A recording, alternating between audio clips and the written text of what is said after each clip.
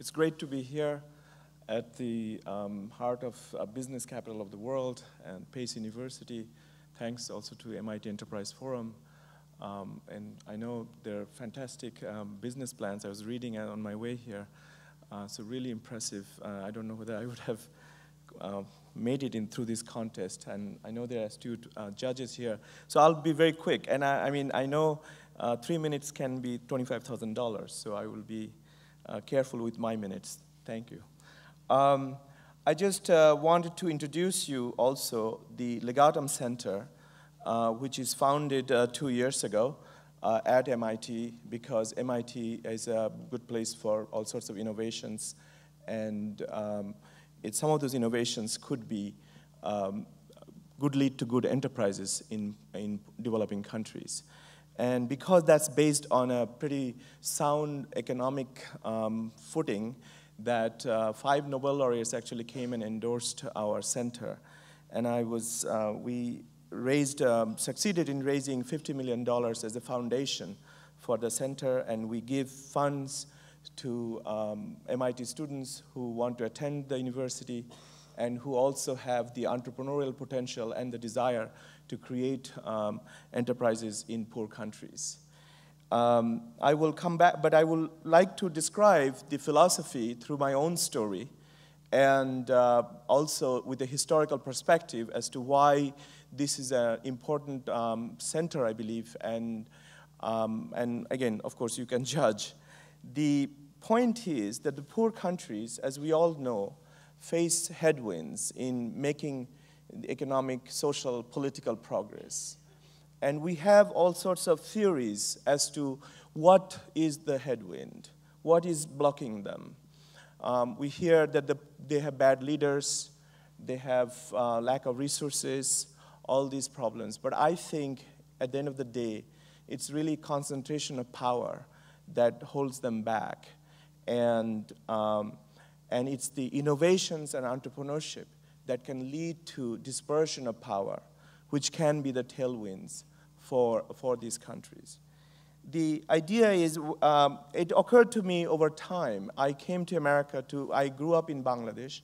I came to America to go to college, and um, 33 years ago. When I came here, and I was, when I was researching about universities in the United States, I discovered that not all good schools are in Washington, D.C. Um, this is because in my country, the best schools are in its capital city. And so from that, I started seeing that the dispersion, which again comes through innovations and entrepreneurship, actually leads to economic, social, political progress. And just to give you an extreme example, North Korea and South Korea, both are culturally same, both actually started with dictatorships. But South Korea, as we know, have moved to democracy, and you can see a picture for electrical use in the evening. It's pretty dispersed activities. In North Korea, there is almost none. It's the electricity, they do have electricity, but it's in a, in a one, concentrated in one town, Pyongyang.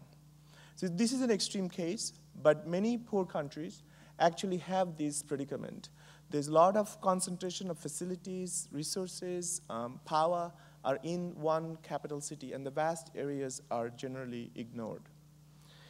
And uh, so if you create an enterprise in a poor country, then you're automatically leading to some dispersion.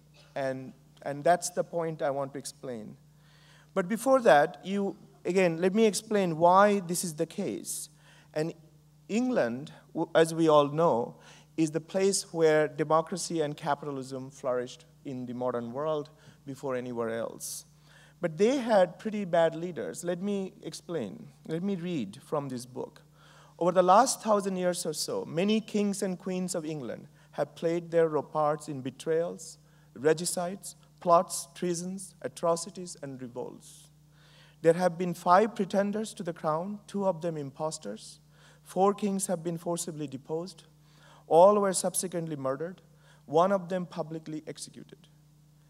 Now, poor countries have bad governments, bad leaders, but they still have some ways to go to catch up with the record of where the cradle of capitalism and, uh, and democracy took place. And this is not to make fun of England, but to point out that it must be some other force. It is not true that the bad leaders necessarily hold back, but rather the empowerment of citizens through entrepreneurship and innovations can tame the, tame the leaders and give rise to an overall progress. Because England, as you know, as we all know, had pretty good record of economic and social progress, despite some of these um, leadership record. So about a thousand years ago, for instance, simple uh, metal plows over, um, over wooden plows allowed people to cultivate more effectively and uh, get, grow more food. Or they had windmills, water mills, clocks, eyeglasses, all these things empowered people. And they became stronger, and they were able to demand checks and balances from, from their authorities. And, and again, this is not my theory, it's out there in the books. And this is one of the books, David Landes, who taught at Harvard for 40 years. And, uh, but if you look at, along with that, what went there, what took place in Europe in general, but England in particular, is there was a devolution of authority.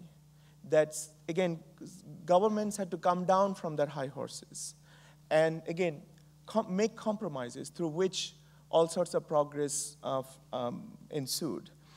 So let me give you one example. Uh, the English Parliament, around 13th century, England, um, the king wanted to tax people to fund his wars or his administration.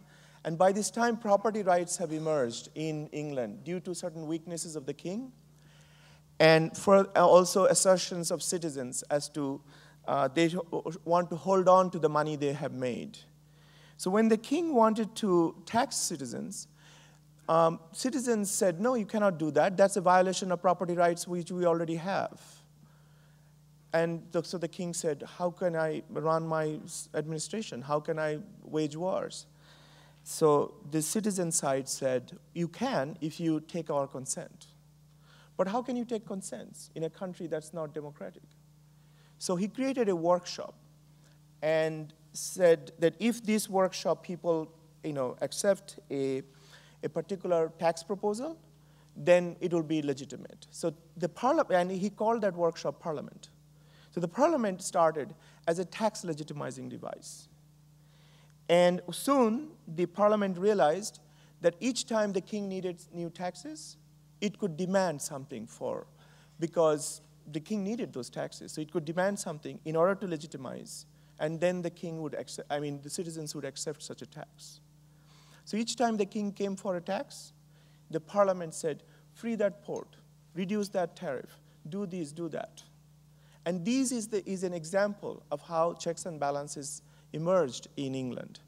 And because, again, citizens and um, businessmen, merchants started to make money, and they could make, force the king to accept compromises, which ultimately led to the progress we see in England. So if you see that, then we can see what happens if, we, if mankind advanced enough 500 years ago and created World Bank, for instance, 500 years ago, and funded England, the king, king of England 500 years ago, what would have happened? I think it would have, it would have set England back. And rather, so the funding to the, the central government of poor countries are often being counterproductive. I'm just trying to illustrate that through the history of the best case of capitalism and democracy. So history of liberty is the history of limitations of government power, not the increase of it. And that's what, what explains, at least part of the, reason, part of the uh, explanation, that why poor countries are, are not progressing enough. Because aid to governments have often led to the empowerment of governments, not limiting them. Just the opposite of the nature of progress that we can see in Europe. So governments become responsive to citizens when citizens make economic contributions to government. And this is why entrepreneurs are important. Entrepreneurs create jobs, products, and services, and economically empower citizens. And therefore, entrepreneurs create the tailwinds that poor countries need. And even, even just for-profit enterprises. That gives rise to social and political progress, as I, as I explained. And so if concentration of power is the problem, what are the dispersions? And as I said, any entrepreneur starting a new business is a form of dispersion. But in the early 90s, I observed an interesting um, dispersive force. It's well known. It's called the Moore's Law, which basically says how many transistors would be jammed into a microchip. And Gordon Moore, who founded um, Intel, he, he observed that the number of transistors go up almost, you know, doubles every 18 months, which sort of translates to the point that the price of microchips the power of computers fall by, uh, I mean, the price, if you keep the power constant, the price falls by 50% every 18 months. And that means every three years, it goes to a quarter, which also means that every six years, it goes to 1 over 16. And so every 12 years, it goes to 1 over 256. So every 15 years, $1,000 worth of microchips become $1. And so this is a, if, if the prices were going down radically, cascading down, so it leads to possibilities that you can harness the power of microchips and allow poor people to be empowered, just like, um, let's say, eyeglasses, windmills, and water mills have helped um, you know, citizens uh, hundreds of years ago. So that, but then how can computers be used by um, people in poor countries where most of people are even illiterate. So that's what led me to this situation where one day I, um, I was, um, my, I used to work here in New York in Midtown, and um, four or five of us were connected through a computer network. And um, one day it broke, and we became productive because we didn't have to exchange floppy disks. Many of you may not know floppy disks, but it existed. Um, and it's, so it became a little bit easier. And one day it broke down, and it, um, I, I was waiting for someone to come and fix it. And uh, actually, Bruce has told the story, so I don't have to repeat it. But it reminded me of a day when uh, I, too, for lack of communications, wasted another day in a, in a village in a, in a developing country. And so I put these two experiences together and I say connectivity is productivity. If you enable, if you connect someone, you enable. If you disconnect him, you disable him, at least partially. And so if that's the case, then telephones are a weapon against poverty. And so I started looking at where does Bangladesh stand at that time. And we had only one phone for every 500 people. And uh, the vast rural areas um, where 100 million people lived, there were no phones. And, um, and again, most phones were located in one single city. So the point, I, and I realized that phones are getting cheaper because, as I explained, the microchips were beginning to power telephones as well, not just computers. So the computers' prices are cascading, so would be the phone prices. And if connectivity leads to productivity, then part of that productivity could be used to pay for the services.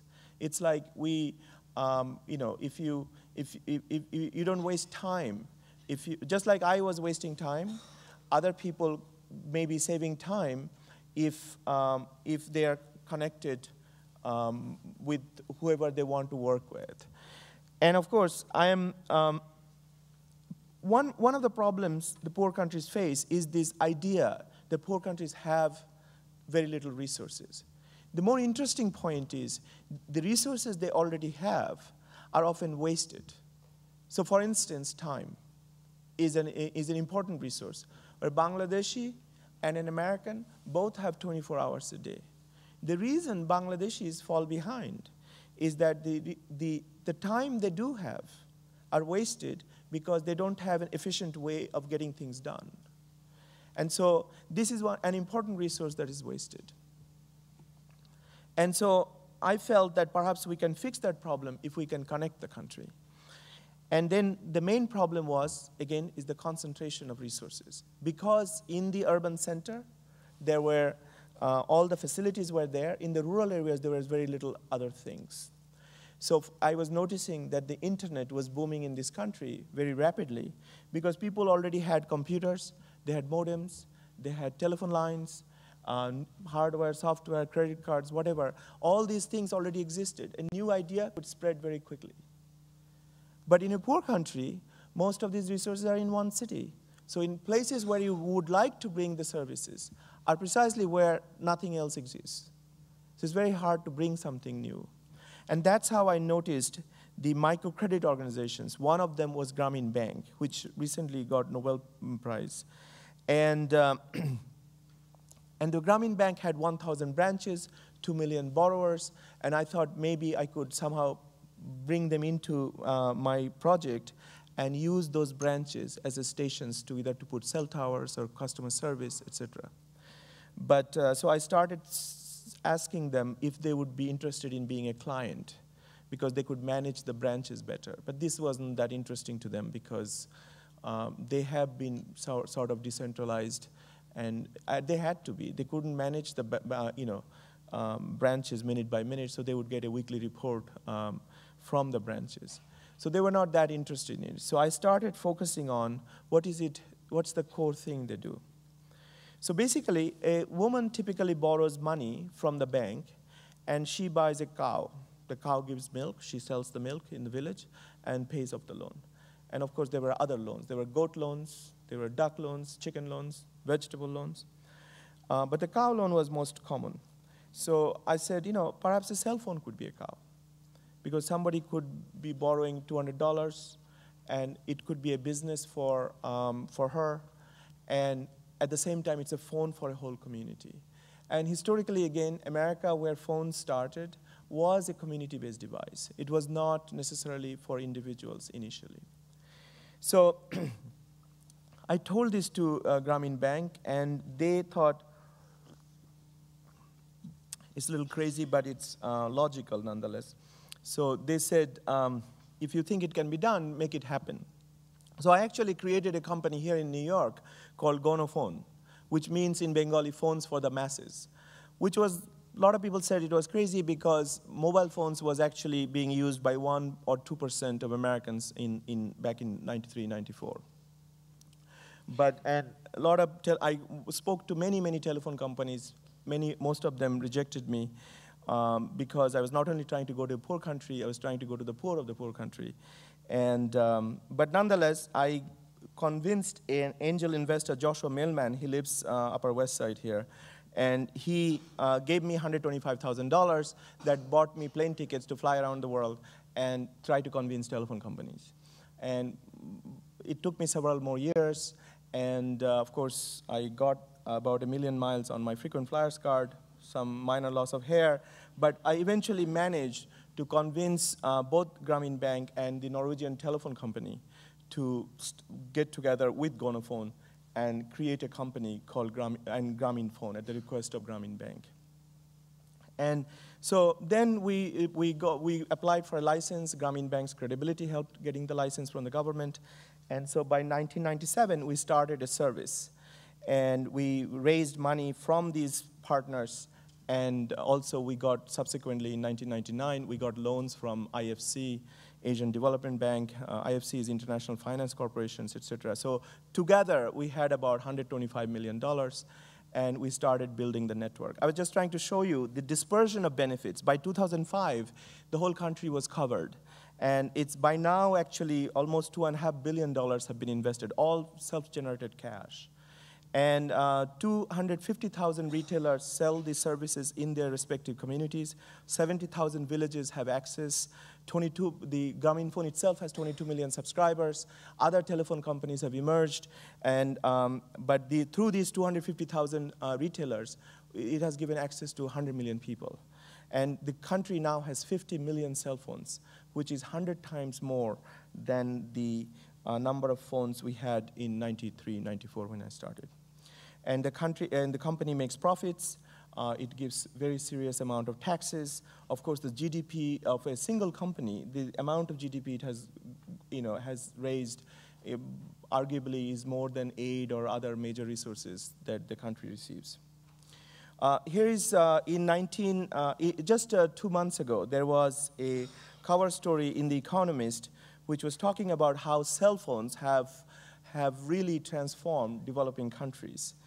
And uh, which is interesting validation of uh, what was my crazy idea 17 years ago.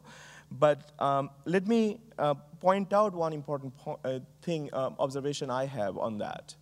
That it, there is a 20-page articles in somewhere, sometime in September, uh, September 26th.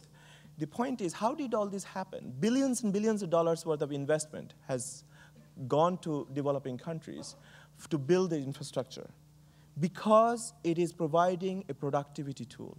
Because people become more productive, part of that productivity they can use to pay for the phone service. So if I'm a fisherman, if, if I could save a day and then wasting the day uh, by making a phone call, I could, let's say, catch five fish. So if I sell one fish and pay for the call, I'm still four fish ahead. And at the same time, because I'm willing to pay for the service, the companies can provide a service and they can make money. And with that money, they make more investments. And that's exactly how all these billions and billions of dollars of the investment has been made in Africa, Latin America, some of the poorest countries in the world. So at the end of the day, it's the increased productivity of people that has led to this, this um, infrastructure. Far larger than many, many infrastructure that the large institutions try to create. And this is built up, atom by atom, by people's increased productivity. So the, there are many notions out there that I just want to point out that at least Grameenphone shows the truth might be contrary to these notions.